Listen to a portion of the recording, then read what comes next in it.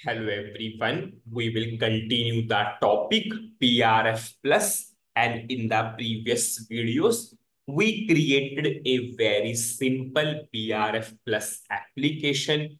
We did the simulation of the BRF plus application. Simulation means we check the output of this BRF plus application independently and it is working fine. Now in this video, we will call this BRF plus application from our program because customer will run the program. Customer will not come to this BRF plus transaction code and do the simulation. It's a very tedious task for the customer. So we will simply, simply call this BRF plus application from the program. Before we proceed further, I will go for one clarity, which few people ask this particular question. You are saying that you will separate the application from the rules. That's why we have a concept of BRF plus. In any industry, rules are changing so rapidly. That's why we are separating the rules from the application now the question which few people are asking, you created a application and in that application you define the rules. Then how rules are separated from the application? Just see. This is a application only only for the rules.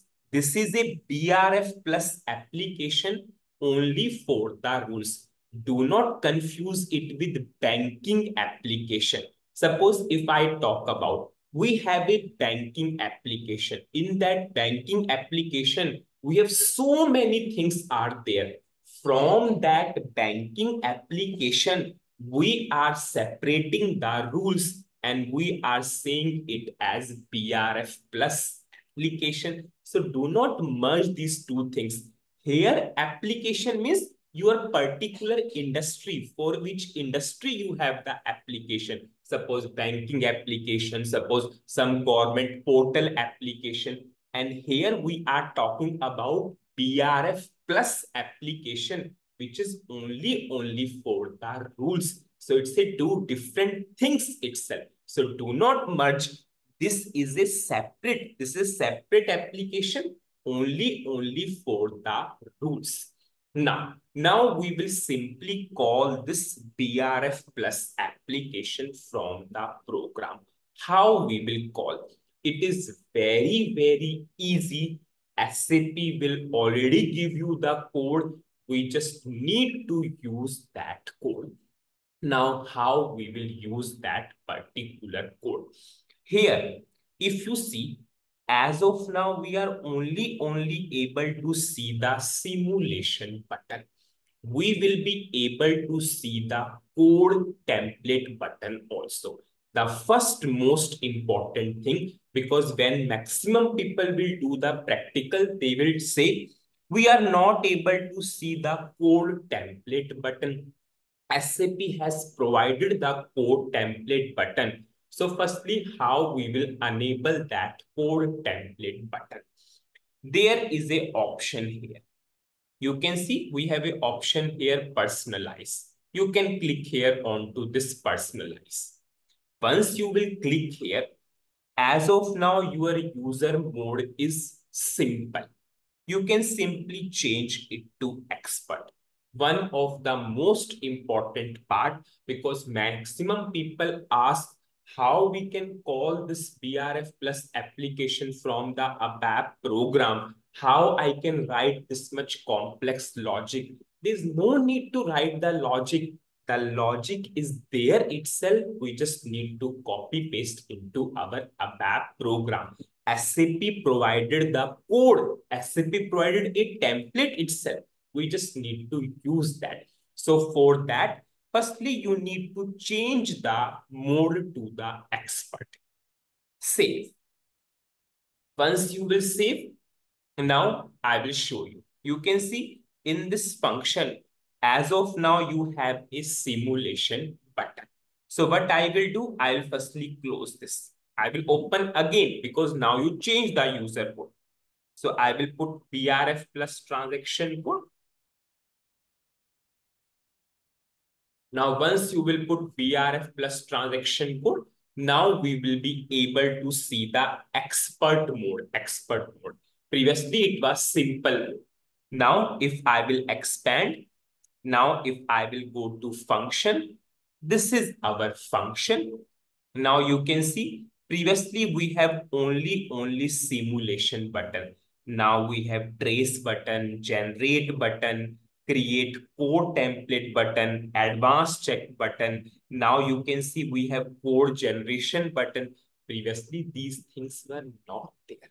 So whenever you will go for expert mode, you will be able to see all these things. After choosing the expert button, just refresh it, okay? Or you can close and open again. Now I will click here, create code template. It will show you the template of the code itself. Click here. Whenever you will click here, you will be able to see the code here itself. Okay. Now I will simply, as of now, this checkbox is selected, show comments. Always go for show comment because whenever you will see the comments, you will realize, yes, which code is for which particular purpose. So as of now, show comments is ticked. So we will be able to see the comments so that we can realize, yes, this code is for which particular purpose. Now I will select this checkbox also why I'm selecting this checkbox. Just remember our result for your input is what? P input. Your output is what? P output. So P output, I choose the DDIC reference at that point of time. So whenever I will choose this show result in DDIC representation, just see as of now, you have only, only input. You have only input just CP input. I will apply. Just see here itself, you will change see a change here. I'm going for apply. And you can see I got a extra data declaration for LA underscore P output, which is of type this. If you remember, this is the data element I took for the interest. So SAP generated the code. Just see P input you can see P output. This is our input and output. So there's no need to manually write the code. SAP has generated the code. Now you need to use that. So I will simply right click. I'll just copy this code. I will just copy this code. And now I will create a program. So I will go to SE38 transaction code. And now I will create a program. Z calling BRF plus application. So I'm creating a program to call a BRF plus application. I will go for create. Okay, I cannot use special character. Sorry, I put plus.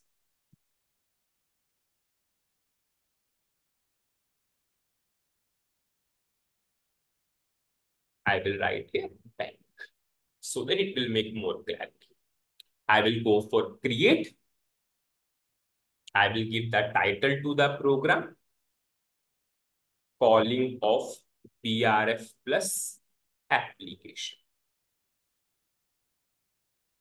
Now I will choose the type as executable program and I will go for save. I will save this program as a local object. Now I will simply, simply copy paste the code. Now I will paste the code here. Now I pasted the code and SAP has given a excellent documentation whenever we will go for code changes, we will use this documentation. So what is the summary of this particular video? In this video, we are started with how to call this BRF plus application from the program. the first most important thing which I explained, do not confuse application word with BRF plus application. Your BRF plus application means in which you will only define the rules. Application means your industry. You are talking about specific industry. You suppose banking industry, government industry. So we are separating the rules from this particular application and we are creating a BRF plus application only to define the rules. Now, how to call? There's no need to write the logic by your own. The only, only thing is you need to go to firstly go to personalize. Whenever you will go to personalize, change the user mode from simple to expert. Once you will put expert, you will be able to see so many extra buttons. You need to click on to create code template. By default, show comments is and we our result is through DDIC representation because our P output is referring to data dictionary. So when I selected and apply, I got a extra data declaration there and P output also comes here in the code. Then I created a program and I copy pasted the code into this particular program. In the next video, I will go for corresponding changes in the program based upon our requirement because ultimately we have to go for some code changes. This is code template which save our times a lot. But ultimately we need to do some changes in the code. I will do some changes in the code and we will check the expected output. So that's it in this video. Thank you.